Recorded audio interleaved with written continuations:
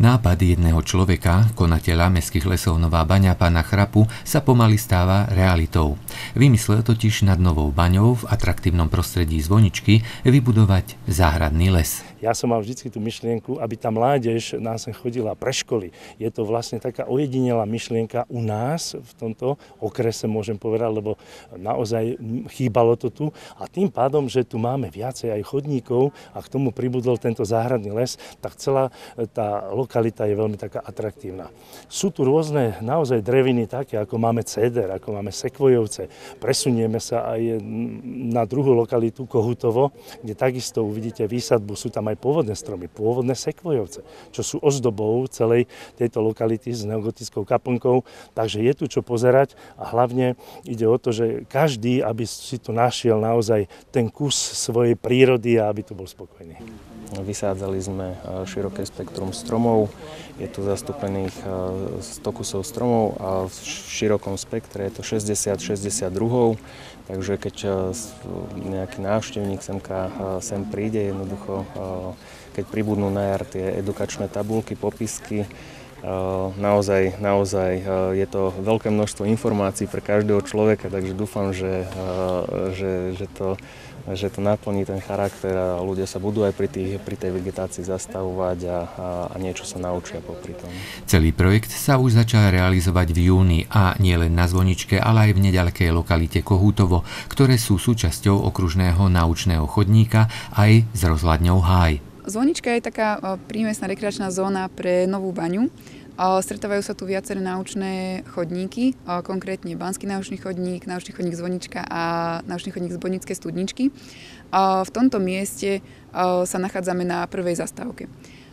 Arboretum, alebo teda záhradný les, má za cieľ doplniť túto lokalitu o ďalšiu pridanú hodnotu, napríklad o tieto zaujímavé dreviny, ktoré bežne človek v našich lesoch nenájde. Na realizáciu tohto projektu okrem iných prispela aj rozvojová agentúra bansko kraja.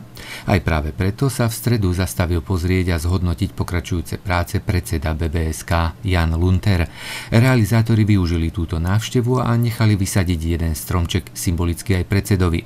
Čo iné na Slovensku, keď nie lipu? Môžem povedať, že veľmi dobrá zem je tu ako, že, že vidieť, že to je historický les, aj keď sa hovorí, tá tradícia je, že v tých rokoch okolo roku 1700 um, všetky lesy na Slovensku v okolí banských miest boli zničené. Zničené kvôli tomu, že bolo treba veľké množstvo dreva na, na pohyb strojov alebo, alebo na výdrevu alebo na hute.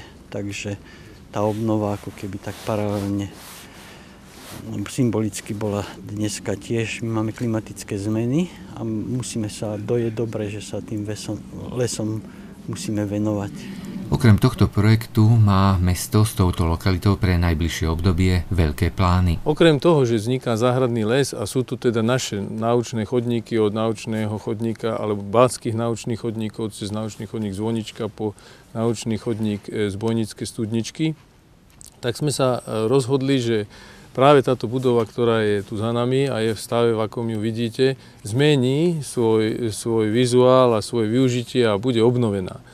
Máme teda spracovaný projekt zatiaľ v štádiu vlastne architektonickej štúdie a tá budova bude mať úplne inú vizualizáciu, bude mať nové podkrovie alebo horné teda poschodie podkrovné, bude mať prestrešenú terasu a zapadne nám do tohto koloritu práve aj tým typickým novobanským kameňom riolitom, ktorý bude na tých stĺpoch kombináciou dreva a kameňa. A veríme, že ľudia tu nájdu, ktorí chodia na tieto chodníky aj miesto pre svoj oddych, budeme tu vedieť robiť rôzne podujatia a budeme ho vedieť využívať čo najširšom spektre pre občanov aj pre jednotlivé skupiny. Vrátane polovníkov, vrátane e, študentov, žiakov. e, a iných skupín. Keď sa celý projekt dokončí, zhruba na výmere jedného hektára bude vysadených až 59 druhov rôznych listnatých, ihličnatých drevín a kríkov. Samozrejme pre návštevníkov pribudnú aj informačné tabule. Ukončenie a slávnostné otvorenie hotového záhradného lesa je naplánované na máj budúceho roka.